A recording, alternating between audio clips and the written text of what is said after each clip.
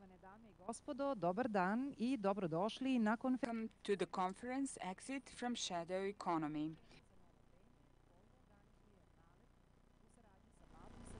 Nemačkom razvojnom saradnjom GIZ, kojom ćemo obeležiti završnicu projekta podrška vladi Srbije u suzbijanju sive ekonomije 2018-2020. U okviru današnjeg skupa govorit ćemo o primeni i ključnim rezultatima nacionalnog programa za suzbijanje sive ekonomije, predstaviti veliko finale studentskog takmičenja Štap ili Šargarepa.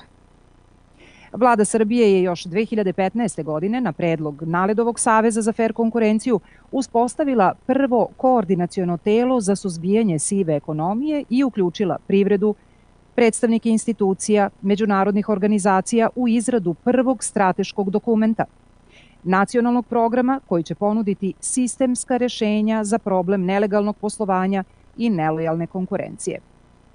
Dokle smo stigli pet godina kasnije i šta su prioriteti koje NALED nominuje za vladu Srbije, najbolje je da čujemo od potpredsednika Saveza za fair konkurenciju NALEDA, Igora Lončarevića, koji će otvoriti današnji skup. Izvolite.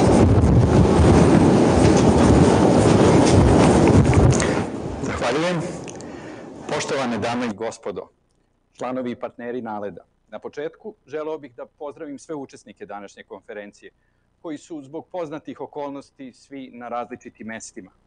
Premijerku Brnabić, ministarku Atanasković, rektorku Popović, gospodina Šilinga, naše studente, finaliste Poreske debate i kolege, članove žirija, Snežanu Milošević iz Poreske uprave i profesorku doktorku Gordanu Ilić Popov sa Pravnog fakulteta.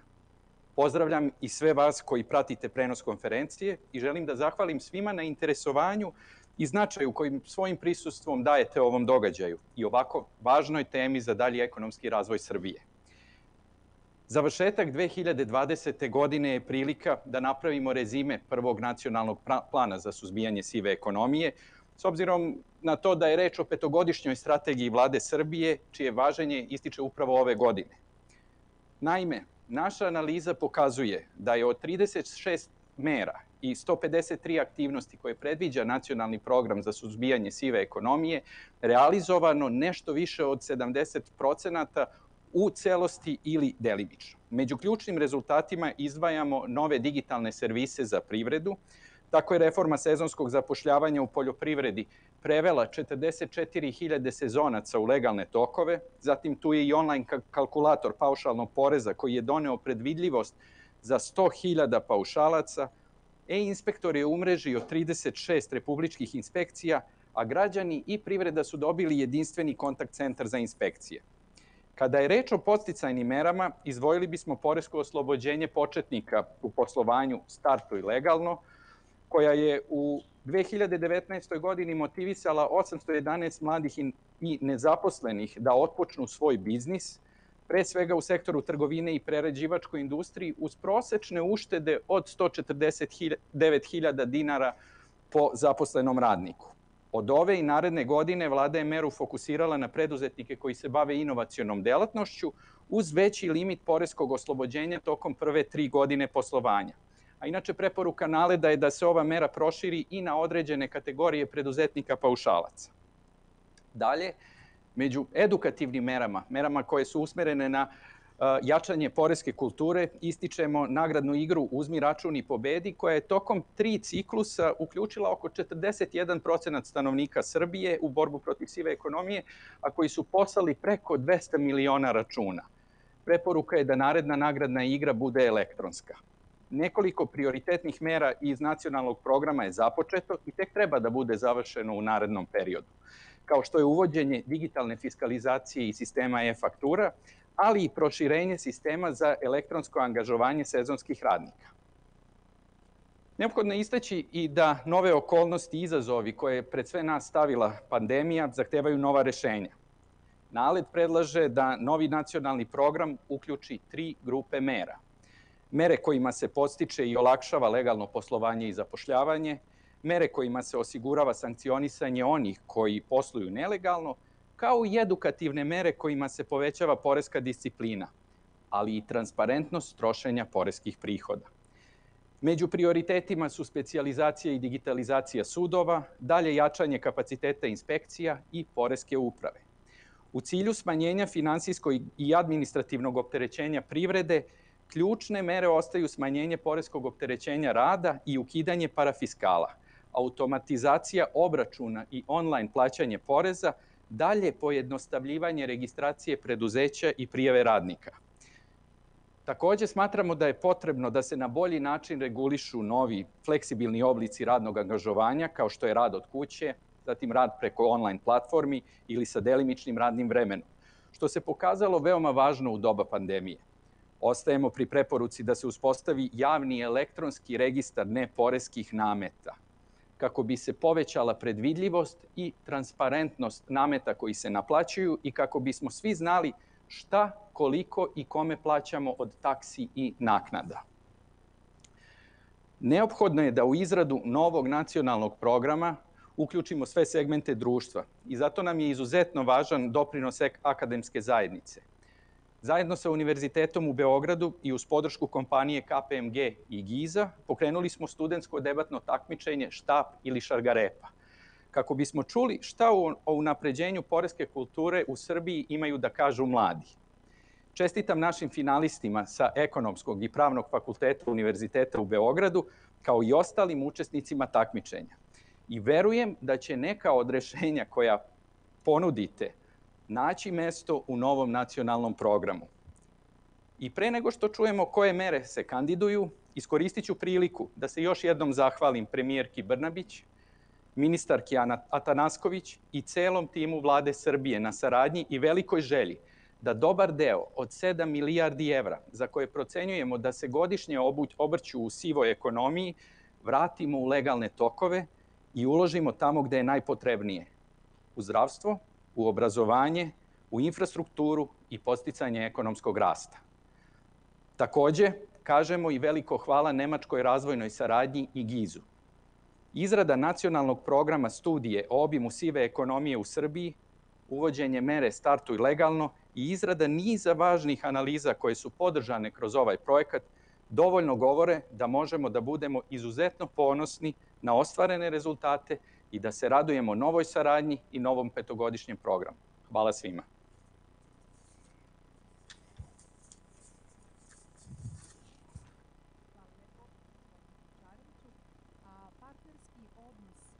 saradnja na, sa međunarodnom zajednicom ključna je za jačanje institucija i unapređenje konkurentnosti naše zemlje. Na tom putu veliku podršku vladi Srbije pruža Nemačka razvojna saradnja. Zamolila bih zato našeg sledećeg govornika, gospodina Kristijana Šilinga, šefa Oceka za razvojnu saradnju u ambasadi Savezne Republike Nemačke, da nam se obrati i da nam predstavi rezultati i planovi iz ugla projekata koje sprovodi GIZ u saradnji sa Naledom. Dobar dan, thank you very much. Um, dear Madam Prime Minister Brnabić. Draga gospođo, takođe premijerko Brnabić, ministarko Tanasković, gospodine Lončareviću, gospođo Jovanović, dragi gosti, uh, Meni je zadovoljstvo da budem domaćin ove konferencije zajedno sa vama u ime Nemačke. Takođe, žao bih da čestitam Naledu koji je sada uspostavio platformu za nas, da možemo da razmenjujemo ideje i diskutujemo o važnim temama e, u ovim teškim vremenima. To je vrlo e, mnogo od pomoći. E, Nemačka i Srpska saradnja postoji 20 godina i uglavnom se fokusiramo na dve oblasti – dobro upravljanje i održivi ekonomski razvoj. Usredsređivanje na ove dve oblasti možemo da e, formiramo sredinu koja e, će podsticati preduzetništvo i omogućiti zdrav i održiv razvoj malih i srednjih preduzeća. E, takođe, sredinu u kojoj se kreiraju mogućnosti za mlade. E, kao posledica toga e, podržavamo program za, e, za borbu protiv sive ekonomije kroz naš projekat reforme koje finansiraju NALED i GIZ. Verujemo da jedan dobar i transparentan sistem oporezivanja predstavljaju ključnu komponentu održivog ekonomskog razvoja. Zato našim radom veoma snažno podržavamo e, e, ove mere ukidanja poreza za nove, e, privredne subjekte. E, Poreske uprave, takođe univerziteti se moraju uključiti i e, kombinivam aktivnostima na ovom e, E, projektu takođe podižemo svest javnosti i širimo informacije o nacionalnom programu za borbu protiv sive ekonomije. E, sada je već oko 100 16 novih, novih ekonomskih subjekata koji su e, pomoću ovog programa osnovani i za mene ovo je priča o uspehu. Postigli smo stopu uspeha od oko 90% i što nas e, uverava da smo na dobrom e, putu i što nas e, uverava da su mere kao što je oslobađanje od poreza i radionice koje su potrebne da bi se obezbedio dobar inspekcijski nadzor. Jesu neke stvari koje doprinose tome da se ljudi ohrabre da rade poslove ve, legalno. Takođe, drago mi je što ćemo danas u debati čuti od studenta kakve bi trebalo da budu poreske mere, da li da budu one koje nas više podržavaju ili da budu strožije. Nemačka je posvećena pružanju dalje podrške nacionalnom programu za borbu protiv e, sive ekonomije i u narednim godinama i zahvaljujem se najlepše na sveme. Prilike da čujemo u poslednjih nekoliko godina postignuti su značajni rezultati na polju suzbijanja sive ekonomije i podrške legalnom poslovanju. To govori o posvećenosti države ovoj temi. Koje su reforme bile najznačajnije po mišljenju vlade i šta nas čeka u 2021. Čućemo od premijerke Ane Brnabić. Dobar dan svima, dragi prijatelji, žao mi je što se vidimo u ovakvim okolnostima i nadam se da ćemo sledeće godine moći da organizujemo još jednu zajedničku konferenciju o borbi protiv sive ekonomije. Hvala na svemu, pre svega partnerima iz Naleda, a takođe i partnerima iz Nemačke razvojne agencije GIZ na svemu što su radili za vladu Republike Srbije i sa vladom Republike Srbije za privredu i građane Srbije, jer borba protiv sive ekonomije je nešto što jačava i našu zemlju i čitavo naše društvo. Nama je ovo, mislim, treća godina za redom koju imamo ovu konferenciju da zajedno sumiramo rezultate iz prethodnih godina, vidimo šta smo postigli, dokle smo došli i šta je ono što treba da uradimo u budućnosti. Ja sa ponosom i zadovoljstvom mogu da kažem da smo dosta uradili. Svakako još od 2015. godine i nacionalnog programa za suzbijanje sive ekonomije, Mi smo kroz taj nacionalni program reformisali inspekcije, reformisali sistem plaćanja paušalnog poreza, tako da i on danas mnogo efikasniji, mnogo predvidiviji, mnogo bezbedniji za paušalci i preduzetnike u Republici Srbiji. Samim tim on smanjuje nelojalnu konkurenciju, olakšava i podstiče preduzetništvo u Republici Srbiji. Reformisali smo izuzetno važan segment, a to je segment sezon, sezonskog zapošljavanja i tu reformu sada dalje širimo na ono što smo probali, pokušali i videli da fenomenalno radi u poljoprivredi i na ostale sektore kao što je građevina, ugostiteljstvo, turizam, pomoć u kući i još neke. Ali smo isto tako i pokrenuli govor, razgovor o, o problemu sive ekonomije i to najbolje kroz nagradnu igru Uzmi račun i pobedi, koja čini mi se je posebno važna ove godine, jer u ovoj 2020. godini koja je izuzetno, izuzetno teška, Nagradne igre Uzmi račun i pobedi je pored toga što nam je pomogla da edukujemo naše građane o sivoj ekonomiji, takođe pomogla da neke porodice širom Republike Srbije i obradujemo. 2021. godina je izuzetno ambiciozna godina za nas, godina u kojoj želimo da nastavimo reforme e, kako bi e, dočekali 2022. godinu sa e, još uspešnije u smislu borbe protiv sive ekonomije. Imamo nekoliko izuzetno važnih suštinskih i sistemskih projekata i reformi. Jedno je svakako fiskalizacija koja treba da se završi 2021. godine i od 1. januara 2022. godine imat ćemo jedan mnogo, mnogo transparentniji, mnogo efikasniji sistem koji je na kraju krajeva, moram priznati, na, za koje NALED zagovarao već nekoliko uh, godina. Tako da to završamo u 2021. godini. 2021. godini takođe moramo da proširimo taj obim sezonskog zapošljavanja, o čemu sam već govorila.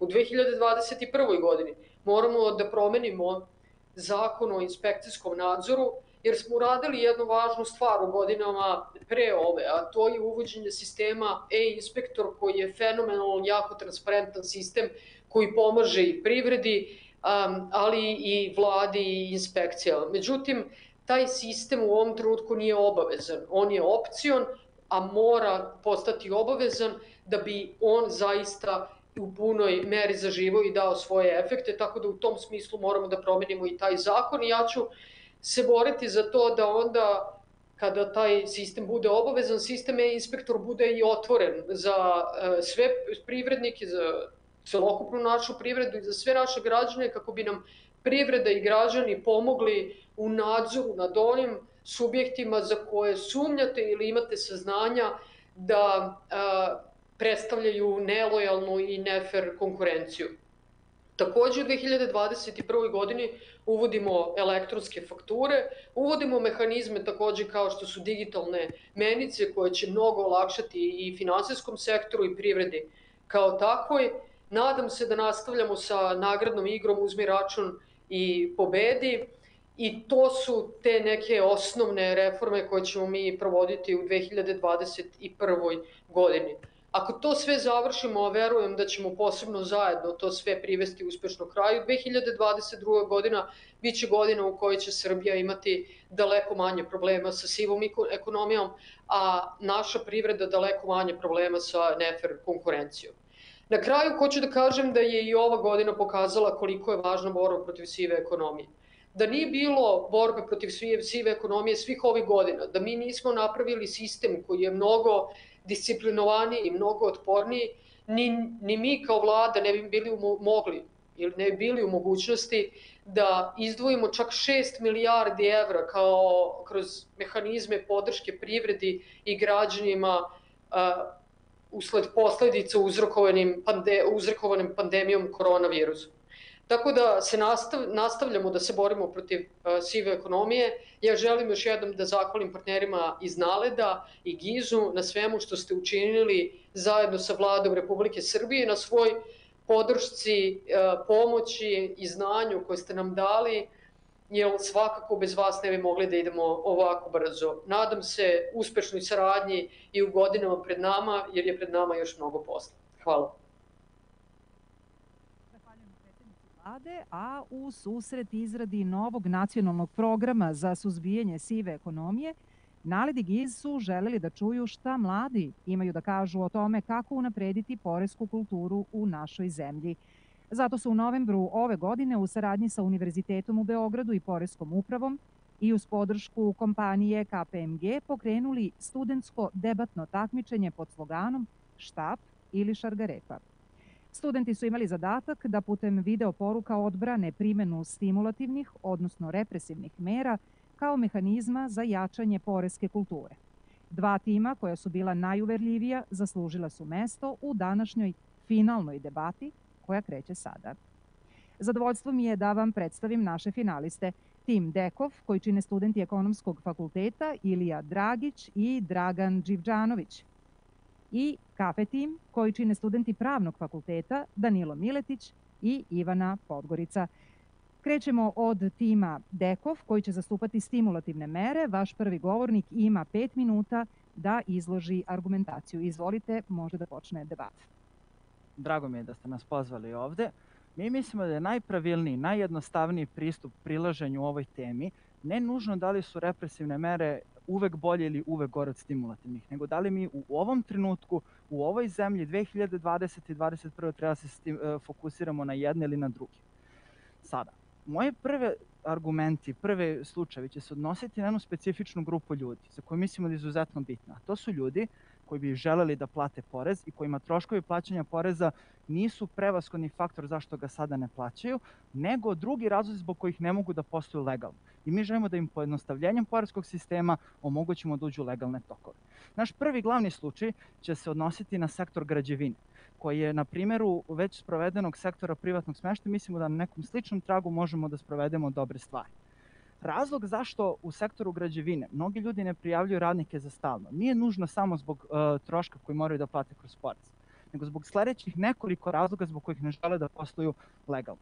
Prva stvar, uh, sezonski karakter poslova na građevini je takav da veliki deo godine možete da nemate posla i ne želite da držite radnika za stalno ako vam ne doprinosi. Ti radnici takođe rade za više podizvođača, što znači da vi ne želite da plaćate doprinos za nekog ko radi za drugog. Takođe, uh, rade i strani radnici, pravni troškovi otpuštanja i ponovnog zapošljavanja su jako veliki, a i pravna odgovornost je izuzetno veliko u svakom radu kad imate ljude zaposlene za stalno. Izuzetno bitna stvar je da a, ne samo da je ovaj sektor radne snage izuzetno fleksibilan, što znači da vi praktično svakog ioler fizički sposobnog muškarca možete da zaposlite i da stalno menjate radnu snagu, nego da su kontrole izuzetno neefikasne, jer je a, poslodavcima lako da sakriju radnike od poreskih inspekcija. Mi bismo predložili sledeću meru, da omogućimo plaćanje poreza po broju ljudi koji rade na projektu. Nama više nije bitno ime i prezime ljudi koji rade za nekog i dalje on prijavljen, nego za svaki projekat poslodavac plaća porez na odnosu broja ljudi koji prijavio da će raditi na građevini. Ovo je takođe dobro što će ljudi koji do sad nisu imali pravo na PIO i RFZO fond moći da dobiju jednostavnim donošenjem potvrde u PIO i RFZO fond da su radili na ovom projektu a poslodavac bi im to izdao jer je on već platio porez za druge ljude, stoga nema nikakvog interesa da im ne izda ovo jer su troškovi već nastaje kad je platio državi.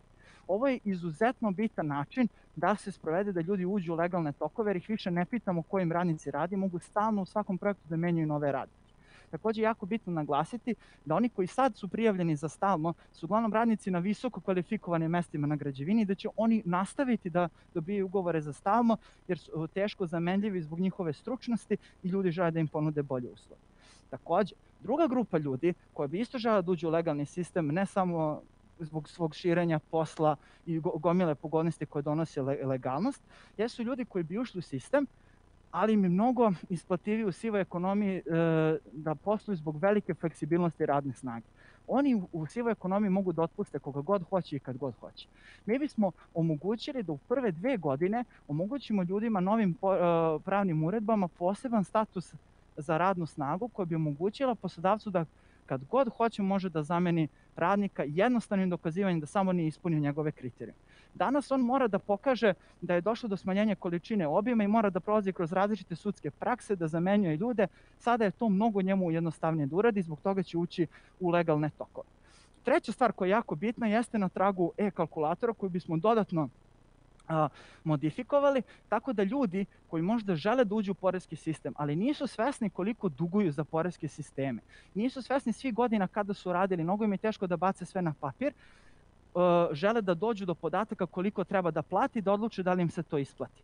Oni sada mogu da traže od Poreske uprave podatke od njihovom zaduženju, ali s time ostavljaju lično podatke i mogućnost da kasnije budu primorani da plate porez. Sada, oni bez ikakvog ostavljanja ličnih podataka, znači bilo koje dete ili čovek može samo da ukuca bilo kakve brojevi da dobije različite poreske stope. Mi smo svesni da mnogi ljudi i kad izračunaju njihova zaduženja neće hteti dalje da uđu u poreske tokove. Ali sva ova grupa ljudi sada o kojoj pričam, u statusu quo ne, nije u poreskom sistemu, za njih se ne plaća porez. Tako smatramo da bilo koga da privučemo, mi imamo nove ljude u poreskom sistemu. Ovo nije bitno samo zbog poreskih prihoda što je izuzetno važno s obzirom da povećamo poreske prihode bez da opterećujemo već ljude koji su već sad u poreskom sistemu, nego i zbog poboljšanja kontrole koje će pričati moj kolega Ilija, zato što sada imamo mnogo savremenije podatke što mislimo da je velika poteškoća u razvijanju poreskog sistema u Srbiji usled nedostatka podataka usled velikog udela sive ekonomije. Ja samo želim da imate na umu da sve uh, utice koje će vam izneti tim za represivne mere morate da računate u skladu sa lošim institucionalnim okruženjem i izazovima koje vladaju u zemlji. Hvala. Hvala vama, vreme je, vreme je isteklo, tu se i govor završio uh, baš u pravom trenutku kako bismo počeli sa unakrsnim ispitivanjem. Uh, Kafe tim ima pravo na tri kratka pitanja, jedno po jedno, izvolite. Koji je to drugi postice da ljudi iskoriste te mogućnosti iz vaših stimulativnih mera, ako ne represije koje ih čekaju suprotnom? Jer suludo je da tvrdite da neko plaća porez zato što voli. Nije suludo. Mi smo objašnjavali na tri različite grupe zašto oni žele da uđu u poreske tokove. Ajde da pričamo o benefitima uloženja u legalni sistem. Mnogo vam je lakše da se širite kao firma kada poslujete legalno. Možete da radite mnogo veće projekte nego inače. Zašto? Zato što što radite veće projekte, teže vam je da sakrivate poreske nepravilnosti Druga stvar, kada želite dalje da se širite na tržištu, mogućnost da uzimate državne projekte i da uzimate generalno velike projekte sa igračima velikog kredibiliteta vas navode da ulazite u legalne tokove. Ono što smo mi potencirali, da sada postoje neke druge rigidnosti, bilo na tržištu rada, bilo generalno funkcionisanju tih preduzeća, koji njih sprečavaju da u sadašnjem zakonskom okviru posluju legalno.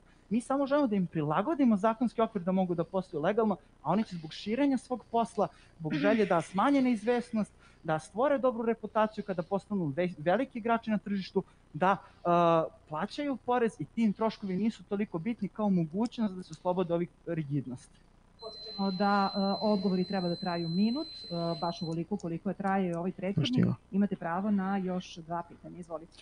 Ovako, imajući u vidu da je pravo povezan sistem, svaka mera proizvodi efekte zajedno sa ostalima. Čime onda opravdavate svoju meru olakšanja otpuštanja radnika kada trenutno imamo desetine normi koje potiču njihove zapošljavanje uz akcenat na ostanak trenutnih radnika? Mi, uh, ako sam dobro razumem, vi sada mene pitate da li mi treba da sprovedemo još jednu dodatnu meru u vidu već postojećih mera. Ono što uh, pričamo o olakšavanju otpuštanja radnika, nevezano za to, moramo da uvek razmišljamo šta je status quo status quo nije savršeno zaštićeni radnici koji rade u savršeno legalnim firmama i sada mi njima skraćujemo i omogućavamo im lakše otpuštanje. Status quo su ljudi koji sad rade u sivoj ekonomiji gde su takođe moguće da ih otpuste svakog dana kada poslodavac želi. Samo što je dodatni harm po državu, što su oni daleko od našeg nadzora, što mi nakon dve godine kad istekne ova politika ne možemo da kontrolišemo kako ta firma radi i oni posluju van uh, države. Znači nemamo poreske prihode, nemamo podatke o, o, o poslovnim aktivnostima. Još jedna bitna stvar kod ulaženja ljudi u legalne tokove, da mi kada imamo podatke, što više podataka o privrednim subjektima, uh, kako oni posluju, mi možemo naše fiskalne i monetarne politike, ekonomske, razvojne, da uh, bolje preformulišemo da njima odgovaraju. I još jedno pitanje je Kapet ima i još jedan minut za odgovor. Izvolite. Ok, vezano za aplikaciju, većina ljudi zapravo zna da nešto duguje. Danas imamo razne aplikacije koje, koje sprovodi e, Poreska uprava, međutim potreban nam je kvalifikovan elektronski potpis baš zbog zaštite podataka, jer ne možemo svi pristupati podacima o našim dugovanjima. Tako da ta priča sa anonimnim, e, sa anonimnim ulaženjem da bismo izbjegli kontrolu Poreske uprave zapravo ne pije vodu zašto ne pije vodu? Ljudi znaju koliko duguju, ali mislim da vi malo precenjujete značaj ljudske racionalnosti. Većina ljudi nema savršeni digitron. Većina ljudi, pogotovo u zemlji gde su dugovali godinama, im je vrlo teško da nakupe koje su bile poreske olakšice, koja je poreska stopa na ovom poslu, koliko su imali doprinos za ovo, za ono. Poenta je da mi omogućujemo da anonimno, bez ostavljanja podataka, ne dolaze do državnih značajnih informacija, nego da oni sami kombinovanjem brojeva koje su oni radili kroz prošlost dobijaju neki zbir brojeva koji treba da im omogući ti bi trebao da platiš ovoliko, ovoliko. Oni mogu stalno da menjuju taj iznos. Poenta je da im omogućimo asistiranje da donesu racionalnu odluku. I opet kažem, mnogi od njih i kad vide koliko bi trebalo da plate da uđu u poreski sistem, možda će odlučiti da ne uđu. Ali sve ove naše tri grupe ljudi o kojima sam ja pričao, u statusu quo nikako nisu u poreskom sistemu. Mi ako uvedemo neke od njih, to je plus. Ako ne uvedemo nikog, mi smo na nuli. Naše mere, za razliku od gomile represivnih mera o kojima ćemo pričati, ne mogu da budu kontraproduktivne. Hvala. Hvala vama. Biće još prilike za druge argumente e, vašeg tima. Sada reč ima prvi govornik kafe tima koji će izložiti argumentaciju u korist represivnih mera. Izvolite, imate pet minuta. Hvala. Hajde na početku da kažemo šta je nesporno i oko čega smo se mi to složili. Zgovara kolega iz statistika koje smo ranije u videu istakli, e, nalazimo sledeće. Većina ljudi ne bi prijavila sivu ekonomiju na plaćanje poreza, čak 90, 99% naledovih ispitanika. Međutim, dobar deo javnosti je čak i opravda i postoji generalno nepoverenje u poresku upravu i državne organe. Znači, nesporno postoji negativna poreska kultura, nesporno je da većina hoće da posluje legalno iz razloga što im se ne isplati da posluju ilegalno i mi smo već o tome i razgovarali. Takođe, jasno je da državni organi često u sprovođenju neefikasni ali toliko tokom govora ću objasniti zašto ta premisa zapravo nama ide u prilog. Međutim, nije tako tačno da su represivne mere kontraproduktivne i da su naše e, i da njihove mere nikad neće biti takođe kontraproduktivne. Sad, oko čega se mi ne slažemo? Postojanje prevelikog rizika od kažnjavanja za neuredno ispunjenje poreskih obaveza potiče i nepoverljive obveznike da ipak redovno plaćaju porez. Šta se dešava kada se rizik od kazne zaista ostvari? Prirodno društvo, recimo, mora da plati kaznu, ceo porez sa zakonskom zatisnom kamatom, administrativne troškove, ošteti reputaciju, izgubi klijente, izgubi zaradu za sve dane zatvaranja.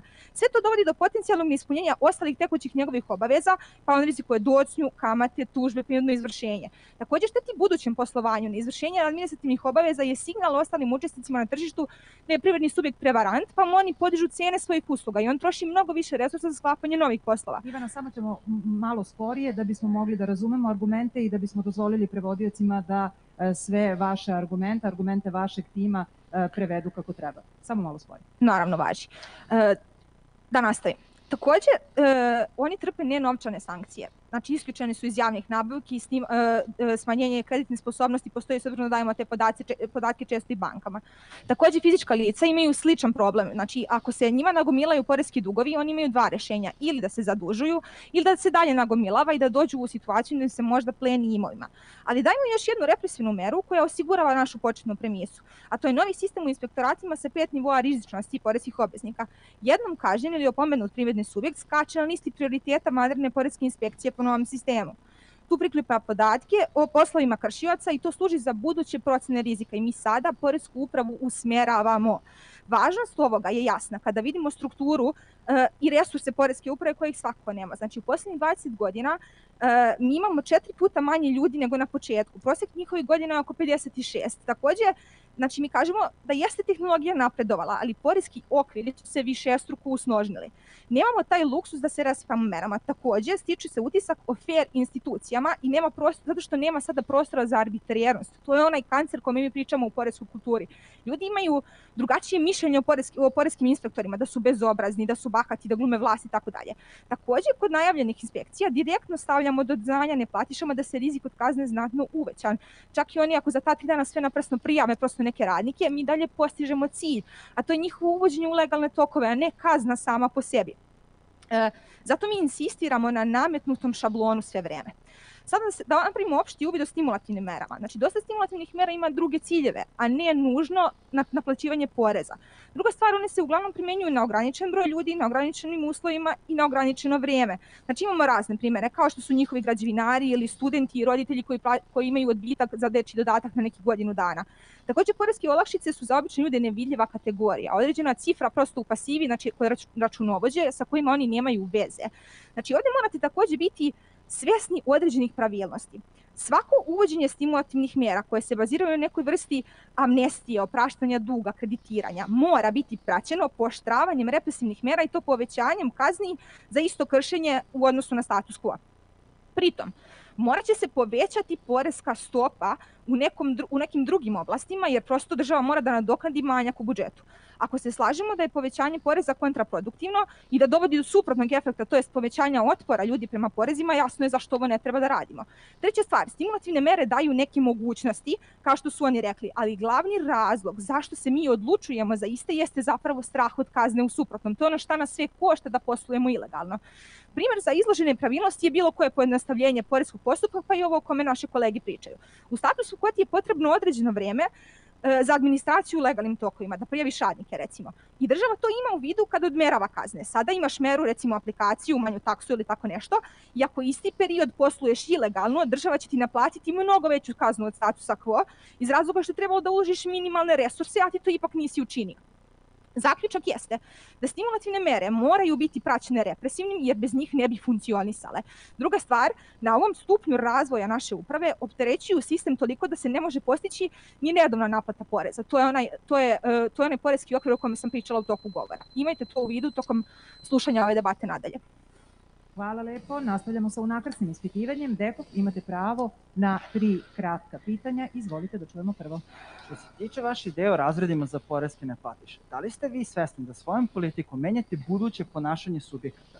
Jer oni koji su izbegli da odu u veće poreze, sada znaju da je mnogo mala šansa da će njima doći inspekcija i oni će kao nenormalni da izvrgavaju zakon u odnosu na status quo, baš zato što nisu gornjim razredima. A takođe i država može uvek da se sakrije iza maltretiranja određenih ljudi, zašto se kaže oni su u većem poreskom sistemu. E pa ovako, kako bih vam rekla, ovaj sistem zapravo sprečava sve to o čemu mi pričate. Arbitrernosti nema, jer postoje algoritmi koji nas usmeravaju. Takođe u tim algoritmima će sigurno postojati one random kontrole, kada neće svi biti znači, usleđavani u tom smislu e, da se prvo proveravaju prvi, pa drugi, treći razred i tako dalje. Znači, uvijek ćete imati vanredne kontrole koje iskaču iz tog šablona, jer prosto to je teo, deo racionalnog razmišljanja ovih aplikacija. Takođe, nema prostora, i baš o tome pričamo, za tu arbitrernost države. S obzirom da uvek postoji upravna kontrola uprave, kada, se, kada, se, e, kada imamo godišnji godišnji izveštaj gde su te sve kontrole bile u odnosu na te platne razrede, mi ćemo jasno vidjeti da neki inspektori idu kod jednih više, kod nekih manje. I zapravo e, tako, tako je, to je jedini način kako možemo da ih kontrolišemo u odnosu na status quo i da kažemo e, ovako da se kroz par godina će se ovako prosto ponašanje iskoreniti, prosto tom upravnom kultur, ovaj kontrolom uprave. Čak i pre roka, imate e, pravo na još dva pitanja, izvolite da čujemo drugo. Poresko, poresko upravo je realno prenatrpano. Ako i tužba prođe, ona mora da ide preko državnog probranioca koji su takođe prezatrpani. Postoji velika šansa da se taj dužnik oslobodi ili dobije manju kaznu. Samim tim sistem je jako trom. Kako vi nama tvrdite da je onda represija bolje za sve ljudi ako ljudi vide da neki prolaze mnogo bolje nego što bi trebali da prođe? Ok, uh, prva stvar, argument o, uh, o, o uspešnosti našeg rada sudova radi na obe strane, kako bismo mi to debatno rekli. Znači, isto tako kad imate pravo na neku poresku olakšicu i sad dobi, donesete tamo gomilu papira pred poresku upravu i ona vam ipak ne odobri određenu olakšicu na koju ste svakako imali pravo, jedino što vam preostaje je tužba u upravnom sudu. Znači, mi se takođe zalažemo da taj upravni sud bude efikasniji, jer on i vaše i naše mere postiče da generalno rade. Takođe, a to će vam malo kasnije Danilo više pričati, kako zapravo kada se objavljuju javne presude i kada se, kada se javno objavljuju presude i kada se označavaju te kada se stavljaju crvene trake na, na, na zatvorene radnje, to mnogo više doprinosi uh, uh, svijesti ljudi zapravo da ta naša uprava radi i ima mnogo veći efekte od različitih reklamiranja države u smislu ovo ste vi nama porezima, uh, porezima izgradili. Tako da suprotna je baš poenta uh, izneta u toku govora, a i bit će kasnije uh, produbljena, da kažem. I treće pitanje? Uh, imam samo još jedno pitanje. Želim samo da, da vam naglasim da ne možete da prepostavljate savršene privredne uslove institucionalne kao u najrazvijenim zemljama. Kada vi imate državu u kojoj je visok nivo korupcije, gde su ljudi spremni da izbegavaju tako poreske kontrole, kada imate natrpano sudova i ostali, koji ste vi sami pomenuli, dolazi od toga da se mnogi subjekti e, prolaze dobro, da nemaju kaznu. Ovo dovodi od toga kako se onda oni plaše od države i plaćaju sve na porez na čemu se ceo vaš sistem e, zasniva. Naravno, ja se sa vašim premisama u potpunosti slažem. Znači, mi moramo da uzmemo u obzir uh, postojeće okolnosti vezano za korupciju, vezano za tromas države. I baš u tome mi moramo te nikakve resurse koje imamo da usmeravamo. Mi nemamo zapravo nekih resursa novih i nemamo novca da sad napravimo, da zaposlimo milion novih radnika u Poreskoj upravi i da menjamo poreske okvire i, i kazneni zakon u nedogled. Znači, mi moramo da radimo sa onim što imamo u ovom trenutku. Zato mi kažemo da, zato mi dajemo taj akcenat na usmeravanju postojećih resursa. Znači, e, niko, se, niko ne kaže od nas da mi kažemo da to tako treba da bude zauvek, ali baš u ovakvom okviru u kome sada pričamo, to je uh, jedna od ključnih stvari. Ivane, sve brže i brže. Stigli smo uh, do dodatne argumentacije tima uh, Deko. Čućemo drugog člana tima. Imate tri minuta za odbranu stimulativnih mera. Izvolite. Hvala. Ajde sad da pogledamo realnu situaciju. Kako ljudi gledaju na državu i na plaćanje poreza. Realno ljudi na državu sada gledaju kao nekog nasilnika koji njima uzima pare i oni za to ništa ne dobijaju kao protiv usluga. Znači ne postoji direktno protiv usluga. Koja je posledica toga? Ljudi opravdavaju neplaćanje poreza. Takođe, manje verovatnoće da će prijaviti nekoga ko im ne izda račun, na primjer, u prodavnici. Mi nastojimo da promenimo ove dve posledice. Oni su i sami rekli kako samo 1% građana bi, promen, bi prijavio u stvari neko loše delatnost na tržištu, to jest nesavesno, nesavesno delovanje na tržištu i mi se slažemo sa njim. Greška u tome kod njih jeste što ostaje ta svest negativno o državi i o poreskim inspektori. Samim tim, ljudi će i dalje opravdavati na plaćanje poreza i neće prijavljivati ljude koji porez ne plaćaju. Znači, hajde sad da vidimo šta se utiče na tu svest ljudi za plaćanje poreza. Nije to samo igra plusa i minusa. Na svest njihov utiču tri stvari, najosnovnije. Nacionalna privrženost, komplikovanost poreskog sistema o kojem moj drug pričao i poverenje institucije u državu. Mi predlažemo dva konkretna, efikasna i izvodljiva načina kako mi tu svest možemo promeniti. Prvi jeste marketing, drugi jeste direktno odlučivanje.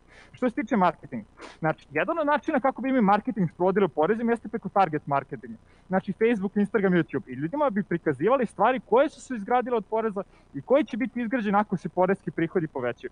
Takođe, na javnim mestima i javnim ustanovima, lup, na primer, u autobusu, u gradskim bolnicama, svuda da prijavljamo, da pokazujemo ljudima otprilike šta se izgradilo od njihovih para.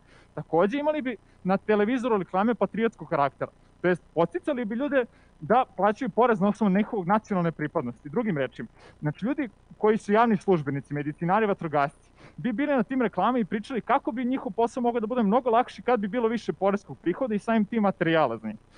Zašto je ovo sve bitno? Bitno je zato što direktno vezuje plaćanje porezi protiv uslugu ljudima, koje sad trenutno smo utvrdili i složili se da ne postoji. Takođe, ovo se stalno servira ljudima. Znači uvek im je dostupno i uvek ta informacija će biti tu negde. Takođe, ljudi se sada dobro osjećaju zato što plaćaju porez. Druga mera koju bi sproveli jeste direktno odlučivanje. Mi bi omogućili ljudima da 1% svog poreza koji su platili prošle godine mogu slobodno alocirati u neku religijsku organizaciju ili humanitarnu organizaciju. Drugim rečima, da objasnim ljudima kako bi to izgledalo sada, u ovom slučaju, vi ne biste plaćali za bolesnu decu preko vaših poruka, već biste delom svog poreza, to je 1% poreza, odvojili uplatili na račun bolesnog deteta i samim tim ono bi moglo da se leči. Ovo je takođe, nije ovo sada mera koju je nemoguće sprovesti, imamo naše komšije Mađare koji su inače sproveli ovo, to se kod njih zove zakon od 1%. Na kraju da završimo sve, zašto je ovo bitno? Koja je poenta svega ovoga što mi želimo da kažemo? Jeste to da više ljudi neće opravdavati neplaćanje poreza. I sad je veća vjerojatnoća da će oni čak i prijaviti to kad ne dobiju račun. Zato što poreski inspektori nemaju dovoljno resursi i dovoljno vremena da izađu na teren. Ovako pozivam na broj, ljudi će dobiti obaveštenje iz poreske uprave da znaju gde trebaju da. Samim tim će prodavcima biti jasno da više ne mogu da ne daju račun i bit će i veći strah prodavac i morat će da krenu da izdaju te račune. Hvala. Hvala vama. Prelazimo na kafe tim i tri minuta za dodatnu argumentaciju u korist represivnih mera. E, pozivam vašeg drugog predstavnika. Izvolite. Transparentnost kažnjavanja dovodi do poverenja u sistem. Ljudi su pravdoljubivi, vole kad na vestima čuju i vide da neka nepravda kažnjena i kad vide efikasnost države. Dakle, isti efekt postoji kad ljudi čuju vest da neki traženi ubica ukapšen, to je zanimljivije. I ostavlja mnogo veći utisak od bilo kakve reklame koju država možda forsira. Dakle, reklame su ili ljudima ili dosadne, ili ne obraćaju pažnju ih, ili ako su napadne, onda su kontraproduktivne. Dakle, jači utisak ostavljaju crvene trake i table na zatvornim radnjama kada prođemo ulicom. I to naročito ako to neki kafić koji mi radom dolazimo. Ili kada odekne vest o 100 najvećih dužnika u javnim glasima poput crnih knjiga. Ili kad se objave velike presude koje postoje, ako vi pokušate kažete da ne postoje, znači postoje velike presude sa ogromnim ciframa poreske ute, jer najviše su ljudi osetljivi na najveće poreske dužnike. A to javno sramoćenje tih ljudi će doneti satisfakciju platišama i oni će se osjećati bolje podom sebe. Tako se zapravo efikasnije, pove, efikasnije stvara poverenje u sistem koji sada postaje pravedan i koji se ne bavi samo malima. Samo se okrenem par stvari koje ste vi pričali. Znači, vezano za specifično obračunavanje poreza za građevinare. Znači, prvo, pravo je sistem. Ne možete da dajete meru sa potpuno suprotnim efektima od desetine drugih koji imaju za cilj da zaposle nove ljude. A ovo što vi donosite bukvalno olakšava otpuštanje ljudi. Drugo, specifične mere za specifične probleme deluju jednostavno. Međutim, tu postoje dve negativne strane. Gdje ćemo uvesti milion variabli za procene tih fiksnih suma po radniku dok izračunamo odgovarajuće o kome vi pričate, a što je prekomplikovano. Ali ako ne uzmemo te, pro, te promenljive, napravit ćemo potpuno nepravičan sistem. Uh, vezano za, znači, za vaše aplikacije, razvoj aplikacije potrebno mnogo uloženih sredstava. Odakle ta sredstva, to je dodatno zaduživanje povećanje javnog duga ili novac iz budžeta koji ne postoji. Dakle, nijedna državna aplikacija ne može biti jednostavna sama po sebi. Znači, algoritmi moraju da imaju mnogo parametara i pristup drugim javnim evidencijama. Dakle, jedna opcija je da država napravi patent za takvu aplikaciju, a druga je da plati patent onome ko je to napravio. Svakako mora da da neki novac, a platit će i uloženo vreme plus bezbednost koja je neophodna. Kakva je to bezbednost? Postoji sistem APR-a gde postoje dva softvera na dva različita kompjutera, gde zbog ogromne zaštite podataka na različitom mestu u državi, jer to takav sistem ne sme da padne. To je prekomerna cena za minimalan porast obveznika o kom vi pričate. Čak i nek bude ta aplikacija isplativa. Nekolicina ljudi koji žele da provere svoje dugovanje i da plate porez, to rade jer se plaše represije države koje smo objasnili. Sledeća stvar vezana za meru davanja ljudima prostora da odlučuju da idu njihov novac, taj 1% o kojem vi pričate je apsolutno minoran, minoran i smešna brojka. Zato što, zato što uh, i kratkoročno to možda približava pored svakom čoveku, ali donosi ogromne negativne efekte. Zašto? Jer će se jer će to biti pakao za administraciju, a drugo, interesne grupe rasipaju masu resursa na, kratku, na, na kraju svakog obračunskog perioda pridobiju većinu ljudi koje nema jasno zacrtan prioritet gde će taj novac da da, gde će tih 1% da. Još je bitnije posmetano dugoročno. Dakle, do isteka sledećeg porezkog perioda ljudi će manje pridavati značaju toj, toj vašoj meri. Dakle, ili će pisati da bude isto kao prošle godine ili neki ide uopšte budžet tako dalje. Znači, košta nas, svake godine ta, ta vaša mera košta milijardu dinara minusa u državnom budžetu. Logičan sled je da se ta mera ukine, a tada najveći problem je sto principira kao da smo oduzeli i ono malo slobode što smo dali državi, što doprinosi uvraženoj negativnoj kulturi ka samoj državi i ka porezima. Hvala lepo, čuli smo glavne izlaganja, sledi veliko nakrsno ispitivanje. Imate pravo na dva kratka pitanja koja ćete postavljati naizmenično. Krećemo od kafe tima, postavite prvo pitanje, pravila su ista, kratko pitanje i minut vremena za odgovor. Izvolite. Ok, zanima nas kako se prosječan čovek osjeća kada vidi ako uopšte primeti reklamu sa recimo zajedno smo izgradili Savski most i slično u moru kosmodiskova kad samo sedne mrtav umoran uveče da odgleda utakmicu. Evo, odlično pitanje prosječan čovjek realno ne razmišlja o tome da je taj most izgrađen njegovih para koje on da. On samo razmišlja da neko izgradio taj most, on ima druge probleme u životu, kako će prehraniti svoju decu, kako će sebe prehraniti, šta će da jede kad dođe s posla. Ovako mi ljudima približavamo tu ideju. Kao što ste i vi složili sa nama, protiv usluga za plaćanje poreza ne postoji. Ljudima je to neka distancna teorija da oni dobijaju nešto za plaćanje poreza, kao što su oni objasnili, oni bi samo naterali ljude da plate porez i ljudi bi sad magično plaćali porez zbog tog straha. Mi mislimo da to ne bi tako funkcionisalo dugoročno, zato smo i protiv toga. Evo sad kako će prosječan čovjek razmišljati o tom mostu. On će znati kada mi njemu stavimo autobus koji prolazi kroz taj most, da je taj most izgrađen njegovih poreskih par. On autobusu neće razmišljati ni o čim, ili će biti na telefonu, pa će onda na njegovom telefonu izaći reklama o tom mostu. I on će znati da je on njegovom kontribucijom, njegovim plaćanjem poreza u stvari izgradio taj most. Samim tim će znati da je nešto dobio za te pare koje je dao državi. Ne da su te pare završile u nekom političarovom džepu, nego su već nastale tako što su izgradile taj most. Hvala lepo. Vaše pitanje da čujemo? Moje pitanje je sledeće. Ako osjećan čovjek već sad nema poresku svijest, kao što ste vi sad složili, i vidi tu vašu crvenu traku ili crnu knjigu, zašto će njega da bude briga ako on to sad ne vidi kao nešto loše i vidi državu kao nekog nasilnika koji samo ljudima uzima pare i tog čoveka koji ne podržava nasilnički režim? Hvala. E, hvala na pitanju. E, kao što smo mogli da se složimo, svakako većina ljudi plaća poreze i negde su svjesni da imaju određene poreske obaveze. Sada kada oni vide da je efektivno kažnjen svako ko se suprotno ponaša, oni imaju prosto određenu satisfakciju, osjećaju se bolje povodom sebe kao što je rekao Danilo. Znači, e, oni tada već vide, to su jedini primjeri da mi pokažemo da država nije, kako smo rekli, ne znam, ološ i da nije lopovi, da, da ne pušta ljude da se provuku. Ne postoji drugi način da mi njima pokažemo da radimo svoj posao, osim da oni tako vide. I to je mnogo efikasnije od tih reklama koje vi pričate. Zašto? Zato što ljudi zapravo ne obraćaju toliko pažnje koliko god da kažete, jer su pravdoljubivi, zato što su nekada i osvetnički, nažalost, nastrojeni i znaju da kada je neko kažnjen jer je uradio nešto loše, prosto su oni zadovoljni jer oni nisu radili iste stvari. Znaju šta ih čeka u suprotnom. Znači, zato kažemo, insistiramo, to je jedini način da pokažemo i da nametnemo određeni dugoročni šablon da se oni prosto naviknu i da utemelje tu određenu poresku kulturu koja svakako nije na zavidnom nivou. Hvala, hvala na odgovoru. Imate pravo na još jedno pitanje. Kapetin, izvolite. Dakle, ovako, država zbog nedovoljne naplate poreza u startu nema novca za veliko ulaganje budžeta. Dakle, na koju ćete vi to tačnu zgradu ili zgradu koju izgradite staviti tablu da je to izgrađeno porezima? Prosto jednostavno ljudi. Oni što nama žele da objasne kako država nema para za naše projekte i reklame, ali realno država ima para za poreske inspektore koji mora se plati platiti, izađu na teren, da borave na terenu, hrana i sve ostalo. Prosto jednostavno sada u subotu ćete vidjeti da država ima para za naše projekte, pošto će podeliti dva stana u zemunskim kapijama, koji su otprilike neke vrednosti oko 120.000. Takođe je već podelila već sad za vikend isto još jedan stan i jedno pet automobila Fiat 500. Tako da te pare postoje. Te pare nisu nešto prevelike, to je otprilike nekih da kažemo 40-50.000 evra, što kad se stavi u vrednost sa jednim stanom, realno je mnogo manja cena. Koja u čemu je suština ovoga? Mi ne uložimo te pare da ih ne dobijemo nazad. Mi ćemo uložiti te pare i dobiti trostruko više sledeće godine. Kada se poveća broj poreskih obveznika, kada ljudi shvate da ne moraju samo da plaćaju porez što im država tako rekla, nego zato što se oni dobro osjećaju kad budu platili te porez. I znaju da taj porez ne ide u tuđe džepove, već ide tamo da izgrade svoju lokalnu sredinu, da školuju svoju decu i da mogu da odu kod doktora i da za to ne plate. Hvala na pitanju. Hvala i na odgovoru, hvala na unakrsnom ispitivanju. Imamo vremena i na redu je zaključno izlaganje u trajanju od minut. Počinje Tim Dekov. Izvolite.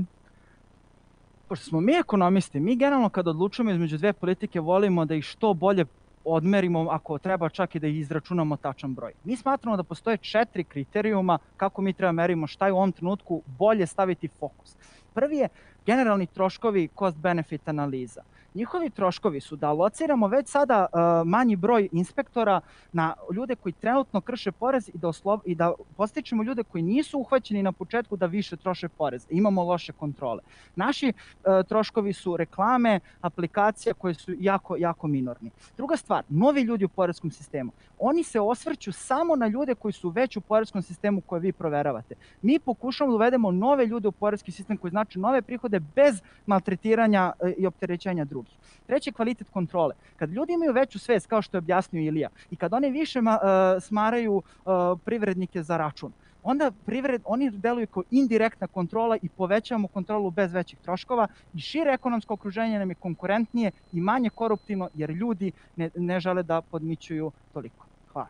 Hvala lepo. Kafe ti minut za vašu zaključnu reč. Izvolite. Znači, ne može se ova debata voditi u bilo kom vremenu i u izmišljenoj zemlji bez da se uzmu u obzir postojeća rešenja. Kao što je činjenica da Poreska uprava, svako smo naglasili, ima malo resursa koje moramo da usmerimo, a ne da se bavi usložnjavanjem poreskim oblicima. I zapravo, ne kažemo mi da zemlja nema novac, među da ga na razne strane troši. Koliko se zapravo nas slaže za fontanu na slavi i svi smo vrlo svesni toga da je to otišlo zapravo iz naših poreza. Takođe, postoji masa normi, kao što smo rekli, koja postiče zapošljavanje i ne smemo dozvoliti da se olakšavaju otkazi. Treća stvar, recimo, postoji sada član 15 zakona o porezu na dobit pravnih lica koji priznaje rashode do 5% dobiti recimo e, pravnim društvima ako daju humanitarne verne obrazovne svrke. To ima 10 puta veći efekt od pomenutih 1%. Takođe, pravo i država su sistem koji ne mogu biti zasnovani na poverenju države u našu dobru volju. Svi smo usmereni da se ponašamo u određenom smeru u društvenim okolnostima da ne bismo platili cijenu za suprotno. Počeo od izrugivanja u društvu pa do zatvorske kazne. I znači, ljudi su u suštini previše egocentrični da bi sagledali potrebe ostalih i društva kao abstraktne kategorije i zato je ključno da prvo stvore naviku nekog prihvatljivog ponašanja. Hvala lepo, ovim smo završili i izlaganja i u nakrsno ispitivanje. Da li žiri možda ima dodatna pitanja? Ima. Pitanje za svaki, pretpostavljam. Da. A, pitanje za Dekov. A, generalno, poreski sistem bi trebalo da bude neutralan i da ni na koji način ne usmerava privredne subjekte da li u ovu ili onu delatnost da se usmeravaju. Kako će posebna olakšica za građevinu da pomogne tom cilju?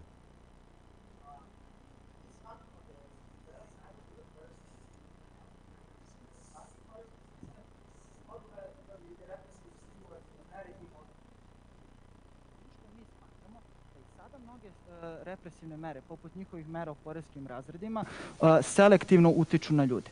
Mi samo smatramo da je bolje imati selektivnost kod pozitivnih mera nego kod negativnih mera. Što se tiče građevine, ono što smo mi rekli E, i mi baziramo na našim empirijskim istraživanjima da je ovo veoma uspešno prošlo u, u slučaju privatnog smeštaja.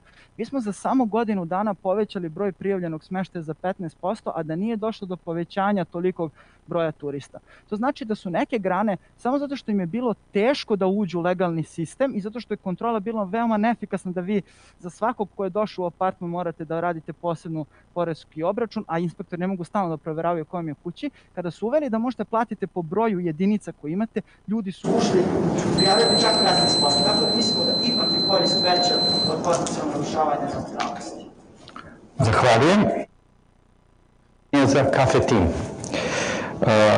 Na početku izlaganja ste pomenuli da postoji nizak stepen poverenja u institucije i da negde građani smatraju da predstavnici uprave nisu tu da sarađuju, nego su na neki način na suprotnoj strani. Kako će do, dodatne represivne mere da smanje taj jaz između građana i uprave? Da, hvala. E, pa slažemo se da je određeni nizak stepen koreske kulture, da ljudi prosto imaju tu percepciju. Znači, e, e, to je prosto razlog zašto mi naglašavamo to usmeravanje. Dakle, ne postoji drugi način da mi njih uverimo da radimo svoj posao, sem da im pa, da pokažemo da radimo svoj posao. U smislu, tih koreskih obaveštenja na zatvorenim radnjama, u smislu objavljivanja presuda, jer nije da one ne postoje. To je tačno da ljudima one nisu prijemčive, da oni ne znaju za njih, oni ne, čita, ne čitamo svi, kako se zove, vlasnik, kao što pravci čitamo, kao što mi moramo da čitamo, to je određeni broj ljudi. Ali kada se to vidi u dnevnim novinama, kada Poreska uprava nastavi s određenim praksama na kojima je nažalost prestala u poslednje vreme, kada objavi sve te poreske dužnike, ogromne poreske ute i tako dalje, to su cifre kojima su ljudima mnogo prijemčivije i mnogo sagledanije i zato oni menjaju svest. Zato oni kaže pa vidite, znači neko ko ne radi svoj posao jeste kažnjen i mi koji radimo svoj posao smo sasvim u redu s tim. Hvala. Hvala lepo. Da li je živi sada dobio sve potrebne informacije i podatke. Hvala svima, bila je ovo teška borba, čuli ste, sigurna sam da našem žiriju neće biti lako da donese konačnu odluku, zato ih ostavljamo da dobro razmisle, a dok čekamo rezultate sledi nam još jedan zanimljiv segment 1 na 1, razgovor sa ministarkom. Reč prepuštam izvršnoj direktorki Naleda Violeti Jovanović, koja ima tu čast da razgovara sa resornom ministarkom Anđelkom Atanasković o merama podrške privredi tokom i nakon pandemije koronavirusa, daljem unapređenju uslova poslovanja i inovacijama koje su pred nama. Gospodin Jovanović, izvolite. Ministarka, dobar dan. Pozdravljamo vas u ime članova Naleda. Nadam se da se čujemo.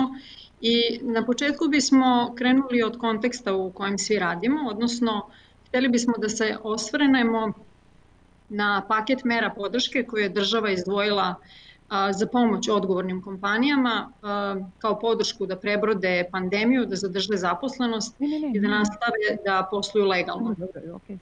Ono što je naše pitanje za vas je kako ocenjujete taj paket mera, odnosno koju meru smatrate najdelotvornijom, a naše članove zanimaju i vaši prioriteti za narednu godinu. Da li najugroženiji sektori mogu da očekuju dodatnu podršku i da li se razmišlja o ponovnom uvođenju poreskog kredita što privreda ocenjuje kao jako dobru meru. Izvolite. Dobar dan svima i hvala na pozivu da učestvujem na forumu. E, Srbija je ove godine za mere podrške privredi i građanima izdvojila oko 6 milijardi evra, što smatram da je to jedna od redkih zemalja koja je praktično našla pravu meru i način da svoju privredu pomogne i podrži u ovoj pandemiji. Sve mere su podjednako važne i mi stvarno smo preduzeli sve da pomognemo našim privrednicima i preduzetnicima, mikro, malim i srednjim privrednim društvima i smatramo da smo našli baš pravu meru da im pomognemo u likvidnosti i u održanju radnih mesta. E, mi smo to na način pokrivanja dela minimalnih zarada, zatim odlaganja poreza, moratorijuma na kreditne obaveze, zatim subvencije na zarade novozaposlenih, kao i u e, kreditnu podršku za likvidnost, i to su bile neke prve mere koje smo mi preduzeli u ovom teškom periodu da bismo im pomogli da bi što lakše posle krenuli da rade kada se pandemija završi. Više od 160 milijardi dinara je prošlo kroz razdeo Ministarstva privrede znači za pomoć e, likvidnosti i postojeće zaposlenosti i tu je oko 250.000 e, naših privrednih subjekata znači, namireno. Pravovremeno se reagovalo i e, tu se najviše vidi po padu nezaposlenosti, zato što u martu negde do sada do novembra kada smo uzimali znači me, praktično rezultate oko 60.000 je novo zaposlenih u odnosu na mart mesec. To je stvarno solidna brojka i to mnogo nama znači zato što vidimo da to i dalje raste i da su predni subjekti krenuli ipak da se malo uh, E, oporavljaju i da se pripremaju za sledeću godinu. U sledećoj godini očekujemo praktično smirivanje situacije kao i ceo svet što očekuje i da se sve to završi, ali mi ćemo pratiti stanje kakvo je pa ćemo pokušati da reagujemo na taj način. Tako da stvarno mislim da je naše ministarstvo privrede i država uspela da našu ekonomiju i privredu sačuva u ovim teškim vremenima. Da. Um, hvala vam na tome, pratit ćemo ove ovaj, dalje mere. A današnja tema nam je siva ekonomija i upravo smo čuli jednu žustru i inspirativnu debatu, da. I s obzirom na to da je cilj vlade da se podrža one kompanije koje rade pošteno, koje plaćaju porez, odnosno da se sankcionišu svi oni koje te obaveze izbjegavaju. Šta će biti mere koje će vaš resor da predloži za novi nacionalni program za suzbijanje Pa vidite kako zbog tih koji rade u sivoj zoni praktično državni budžet e, ostaje uskraćen e, za novac koji bi mu pripadao po zakonu i tu i sami privrednici, oni koji legalno posluju, trpe veliku štetu.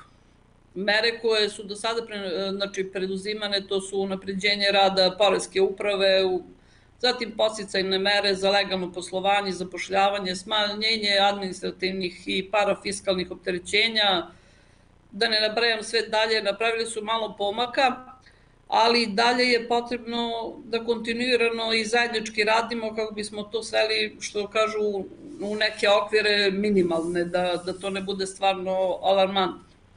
Zato će ovaj novi nacionalni program za suzbijanje sive ekonomije biti predmet dogovora i sa ostalim resornim ministarstvima, jer je nemoguće da samo Ministarstvo privrede to sve odradi ali e, mi možemo dati znači, naš doprinos u fiskalizaciji, gde će Ministarstvo privrede obezbediti postice za privredu, za lakše prelazak na savremenija tehnička rešenja fiskalnih kasa i softvera, kao i prelazak na e-fakture. Tu vidim naš e, deo gde mi možemo da utičemo na sivu ekonomiju i na praktično sprečavanje toga. To su prioriteti koje dobrim delom predlaži privreda i posebno nas hrabri što ste lično spremni da uzmete učešće u radu koordinacijonog tela. Morat ćemo. Se, se ekonomija često pored financija vezuje upravo za resor privrede kao primarno nadležan. Dalje smo imali pitanje za vas koje se tiče dalje unapređenja uslova poslovanja i agencija koje su u vašoj nadležnosti.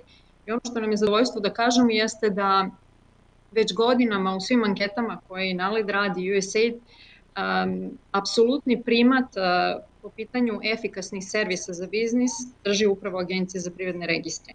To svakako nije slučajno jer su oni u tom uh, segmentu zaista za primjer, ali mi i tu imamo jedan predlog što može dodatno da se uradi i a, uh, ono što nas zanima je da li postoji spremnost i volja da se dodatno pojednostavi postupak registracije privrednih društava i to konkretno kroz spajanje postupka registracije i registracije stvarnih vlasnika. Pa Ministarstvo privrede će u sledećem kvartalu, praktično posle ovih naših praznika, u sledećoj godini da planira izmenu dva zakona, znači koja se odnose baš na to, a to su zakone o postupku registracije u Agenciji za privredne registre i zakone o centralnoj evidenciji stvarnih vlasnika i tim izmenama smatram da ćemo pojednostaviti postupak registracije tako što će e, biti uvedena obaveza elektronske registracije osnivanja privrednih e, društava ili subjekata. Istovremeno, elektronskom registracijom osnivanja vršit će se i elektronska evidencija stvarnih vlasnika u centralnom registru stvarnih vlasnika, tako da time olakšavamo, odnosno ubrzavamo postupak e, prijavljivanja. Takođe ovim izmenama ćemo da se uskladimo i sa merama predviđenim akcijnim planom za napredovanje Srbije na Doing Business listi Svetske banke i smatram da ćemo preko APR-a to uspeti da odradimo. Da. Hvala vam, pratit ćemo to zajedno upravo kroz zajedno, da, naš rad na, na Doing Businessu. Um, da se vratimo ponovo na temu uh, sive ekonomije, ali iz ugla podsticajnih mera za sve one koji uh, ulaze u, u sektor biznisa um, i pre svega podrške za preduzetnike. Tu smo hteli da se osvrnemo na meru um, startu legalno, koju smo zajedno sa, sa vašim resorom, sa financijama i Ministarstvom rada i uz podršku GIZA pokrenuli uh, kao uh, poresko oslobođenje za sve početnike u poslovanju u prvoj godini rada ta mera je izmenjena na način da je proširena na trajanje od tri godine, da je usmerena na preduzetnike koji se bave inovacijama, što takođe pozdravljamo. Ono što nas zanima da čujemo od vas je kakvi su rezultati ove mere, konkretne brojke u smislu rast, rasta preduzetništva i, i novih radnih mesta i da li biste podržali da se poresko oslobođenje uvede i za određene kategorije a, preduzetnika koji rade u sistemu paušala, jer trenutno ona važi samo za preduzetnike koji posluju u režimu lične zarade ili oni koji vode knjige. Pa, znate, ovo je stvarno, da kažem, mlada mera, vrlo je taza i mi rezultate pratimo kako bismo mogli nešto i da radimo na unapređenju. Mladi preduzetnici su nam bitna ciljna grupa i u narednom periodu više ćemo na njih baciti fokus i slušajući malo pre ove mlade koji su stvarno bili ubedljivi i da kažem vrlo jasni u, u njihovom gledanju stvari i na sivu ekonomiju i na sve ovo, stvarno sam oduševljena da imamo takve mlade ljude i, i to mi je drago zato što sam u ministarstvu sledeće godine predvidela nov program koji će biti usmeren na dve veoma važne ciljne grupe, a to su mladi i žene. Znači, smatram da, da stvarno im treba dati šansu, pogotovo kada vidim da, da imamo takve, takvu decu uopšte i studente, i program će tada predstavljati kombinaciju bespovratnih e, sredstava u visini do 45% vrednosti projekta i veoma povoljnih kredita kroz fonda za razvoj, što bi bilo vrlo povoljno da, da se praktično sve radi kako treba. I mislim da ćemo preko mreže regionalnih razvojnih agencija takođe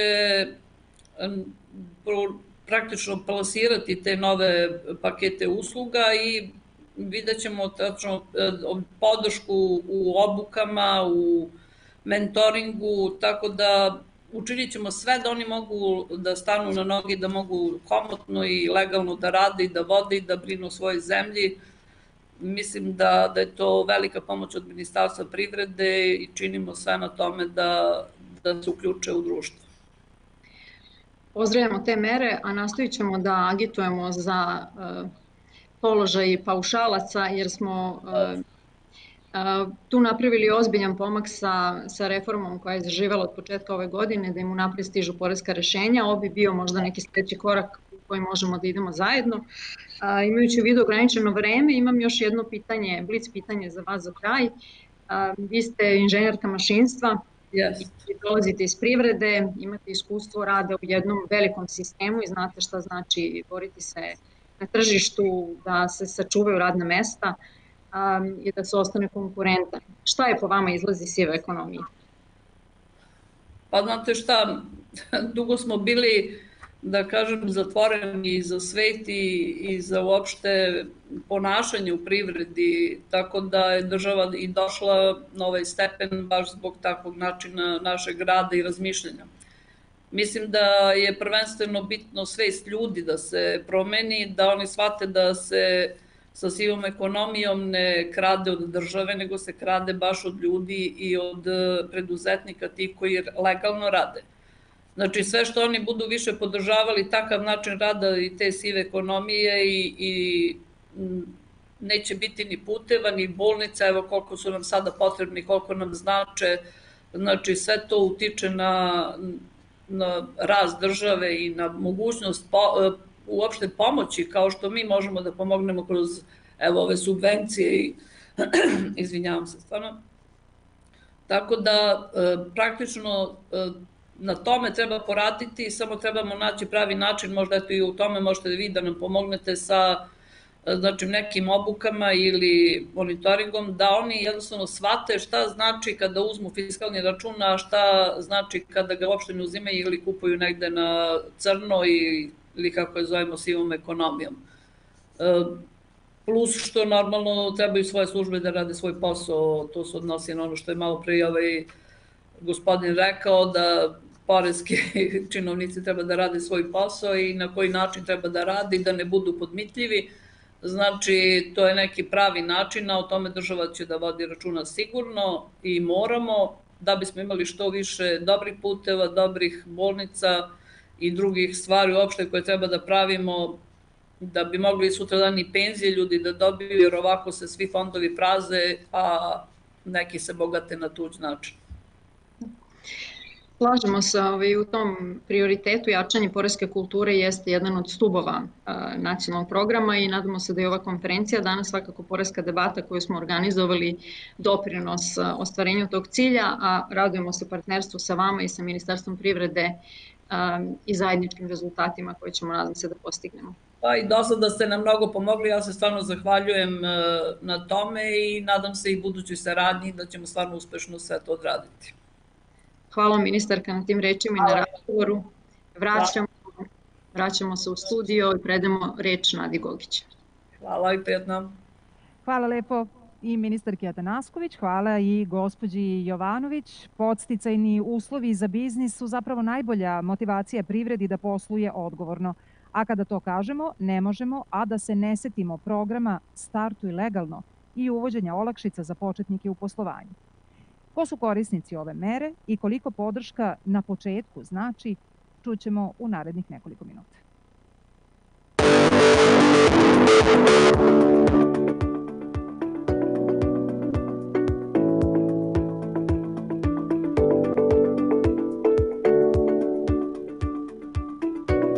Radila sam u marketingu 17-18 godina u različitim korporacijama i to je bio divan posao, ali sam ja od uvek želela da imam svoju firmu.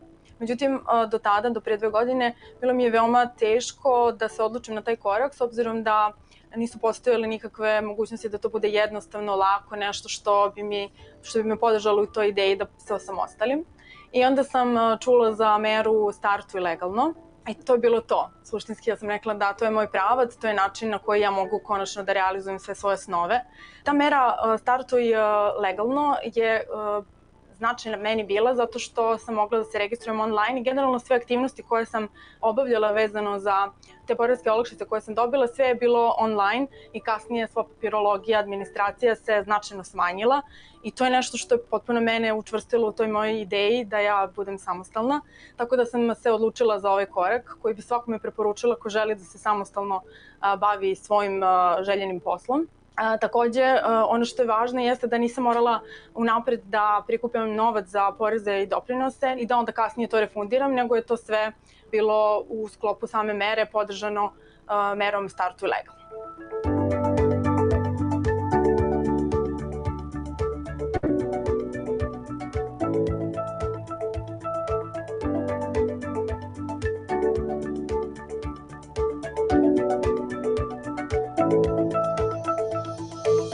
Mera Startuj legalno je osnovni razlog zašto sam se odlučila da pokrenem poslovanje.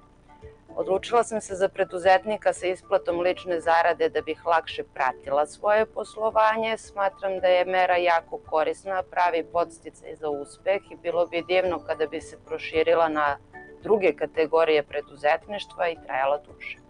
Bilo mi je izuzetno važno što je od starta sve legalno i mogu u potpunosti da se posvetim svom poslovanju.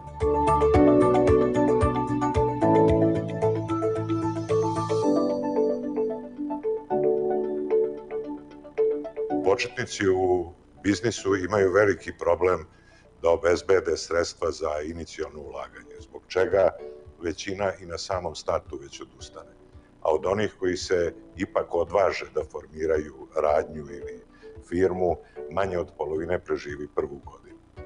S obzirom da još uvek ne postoje dovoljno razvijeni e, moderni načini finansiranja malog biznisa, a da su kriterijumi za dodelu povoljnih sredstava na konkursima prilično visoki, fiskalni postice imaju veoma veliki značaj da biste postavili svoj biznis na noge kao neko ko je prošao kroz sve ovo i opstao u biznisu evo, više od 30 godina, znam koliko je važno u preduzetničkim vodama da makar na početku imate neku sigurnost.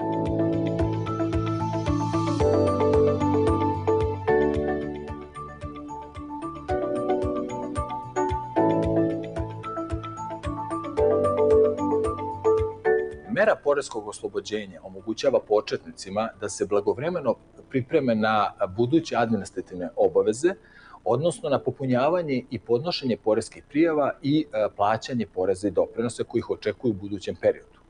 Mera e, startuje legalno omogućava uvođenje novih poreskih postica i olakšica, a poreskoj upravi nadzor nad primjenom i poštovanjem propisa, posebno imajući u vidu povećan broj preduzetnika i privrednika koji ulaze u nov sistem.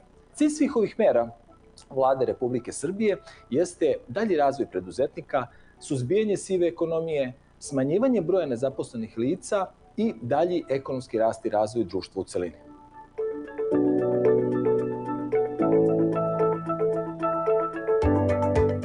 Mera startu i legalno je deo nacionalnog programa za suzbijanje sive ekonomije. Ovu meru smo predložili vladi sa kojom smo zajedno učestvovali na izradi upravo ovog akcionog plana i programa za suzbijanje sive ekonomije. Razlog za to je bilo pre svega analiza koju smo radili uz podršku Nemačke razvojne saradnje i projekta koji se bavi javnim financijama, finansiranja agende 2030. Kroz rad na toj analizi ustanovili smo šta su osnovne prepreke mladima da započnu sobstveno poslovanje. Prvo, veliki broj mladi je nezaposlen, čak tri puta veća je nezaposlenost u ovoj kategoriji nego među ostalim stanovništvom. S druge strane, ono što su oni iskazivali kao najveći problem jesu ti početni finansijski udarci za njih, pre svega administrativni, a potom i svaki mesec moraju da plaćaju porez i doprinose na zarade. Ovo su troškovi koji se kreću između 100 i 300 evra mesečno i upravo je to bio jedan od ključnih razloga zašto mladi ljudi, mladi preduzetnici rade u nelegalnim tokovima. Iz tog razloga smo predložili uh, ovu meru koja je u stvari posticaj mladim ljudima koji tek kreću u poslovanje da posluju legalno.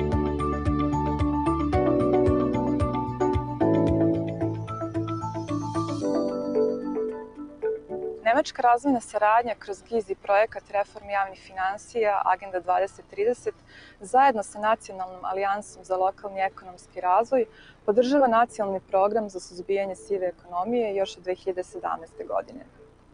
Jedna od najbitnijih mera iz nacionalnog programa je mera poreskog oslobođenja za početnike u poslovanju koja je usvojena 2018. u oktobru mesecu. Od tada do juna 2020. godine imamo 944 novoosnovana aktivna preduzeća. Promocija preduzetništva je važna ne samo za suzbijanje sive ekonomije, nego i za stvaranje posticaja za početak prvog poslovanja u legalnim tokovima. Kroz ovaj projekat pripremili smo vodič i druge informativne materijale, organizovali šest infodana za više od 150 javnih službenika, pet infodana za više od 160 studenta, sedam edukativnih radionica i pokrenuli web sajt jer smatramo da je informisanje početnika o meri poreskog oslobođenja i koracima do pokretanja biznisa ključno kako bismo ih ohrabrili da uplove u preduzetničke vode i uspeju.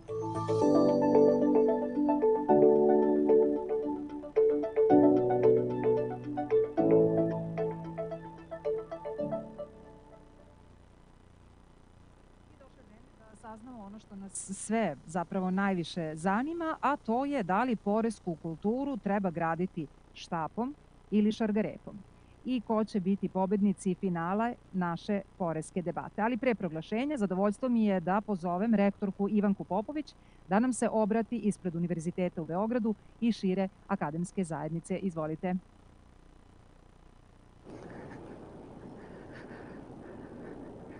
Zahvaljujem. Dobar dan svima.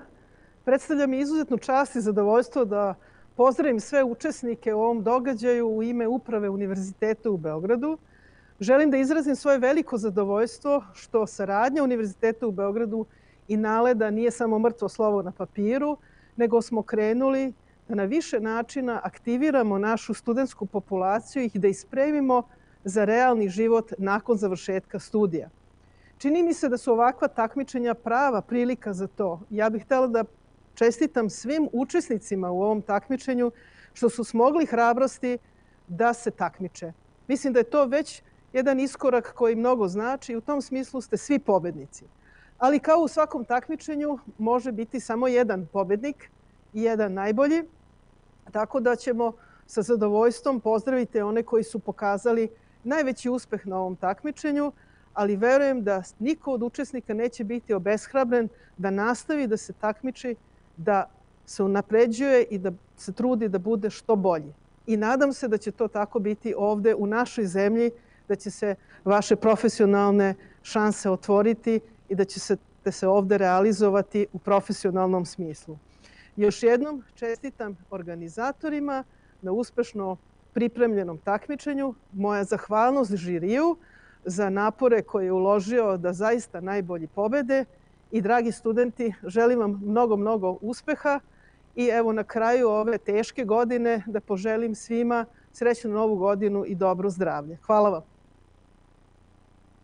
Hvala najlepše rektorki. E, zamolit ću vas da ostanete na sceni radi proglašenja pobednika. Molim sada predsednika žirija ispred kompanije KPMG i Naledovog saveza za fair konkurenciju Igora Lončarevića da predstavi zaključke žirija i da proglasi pobednike. Gospodine Lončarević, izvolite.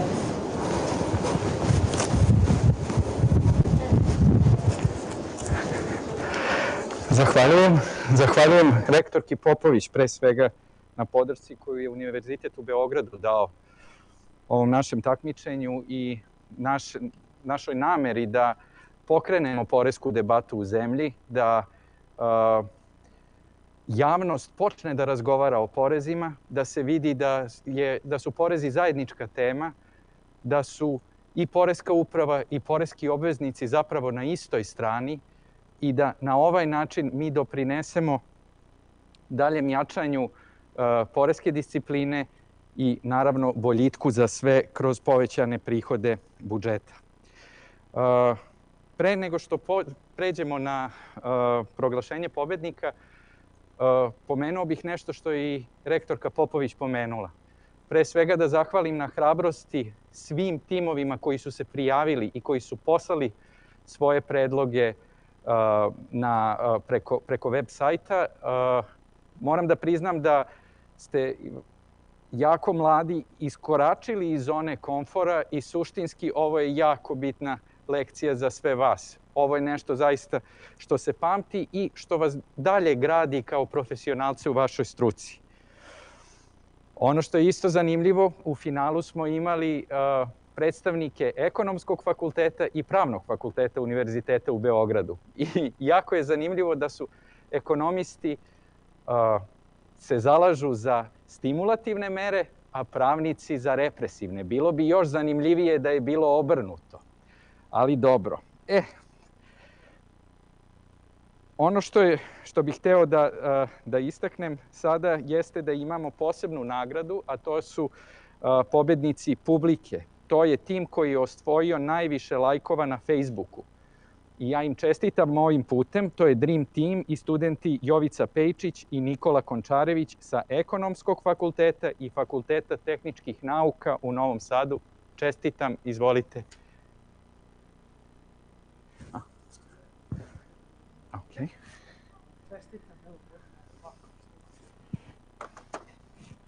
Čestitam. Izvolite. E, samo još kolegi da čestitam. Izvolite. Aha.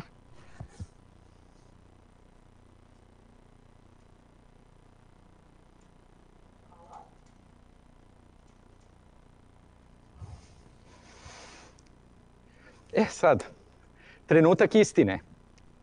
A, ono što bih hteo pre svega da pohvalim jeste jedna kultura dijaloga koji su oba tima pokazali. I kultura umeća da saslušamo jedni druge, da čujemo argumente druge strane, ali zaista da saslušamo i čujemo. I mislim da su tu naši današnji finalisti zaista pokazali jedan visok nivo kulture i koji daje jednu nadu u bolje sutra svima nama. Pa da krenemo od drugog mesta. Drugo mesto je, e, inače moram još dodatno da se zahvalim učesnici, e, članovima žirija. Snežani Milošević iz Poreske uprave i Gordani Ilić Popov sa Pravnog fakulteta. Moram priznati da smo mi vodili debatu pa do pred sam kraj vremena koliko nam je bilo namenjeno za to, jer oba tima su zaista bila i ubedljivi u svojim argumentima, ali isto tako su imali prema nekom našem subjektivnom viđenju i neke prostore za poboljšanje svojih argumenta. Odnosno, neki delovi zadatka možda i nisu bili najbolje pokriveni. Inače, žiri je doneo jednoglasnu odluku. Drugo mesto je osvojio tim Kafe Tim sa Pravnog fakulteta i čestitam Ivani Podgorica i Danilu Miletiću na osvojenom drugom mestu.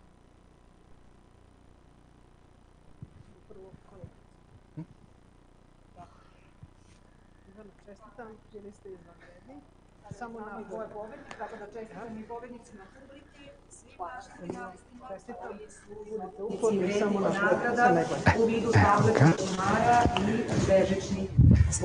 ali da čujemo ko je danas. Aha, može zajednička slika, evo.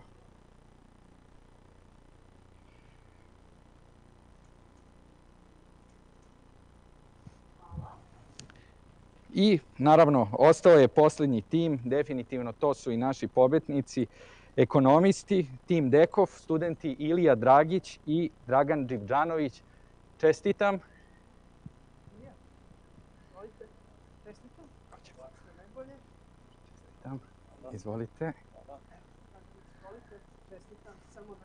Možeš kolegi. E, čestitam. E, idemo fotografija će pobednici poreske debate imati priliku i da započnu svoje prvo radno iskustvo plaćenom stručnom praksom u Naledu i KPMG-u. Ostaje samo da saznamo koji student gde ide, a to će zavisiti od slučaja. Molim vas, izaberite jednu od dve koverte i pokažite nam gde ćete na praksu. Ovo je sad čista fortuna.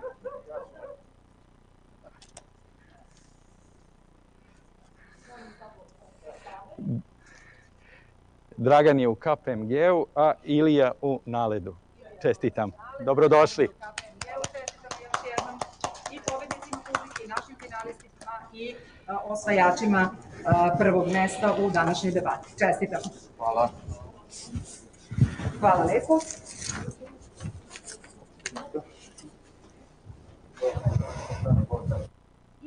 stigli smo do kraja. Čestitamo Naledu, čestitamo KPMG-u na sjajnim praktikantima, a našim debaterima naravno još jednom želimo puno sreće u daljoj karijeri. A ovim zatvaramo današnju konferenciju. U ime organizatora skupa zahvaljujem našim učesnicima, zahvaljujem svima koji su nas pratili i podržali u borbi protiv sive ekonomije. Hvala lepo, doviđenja.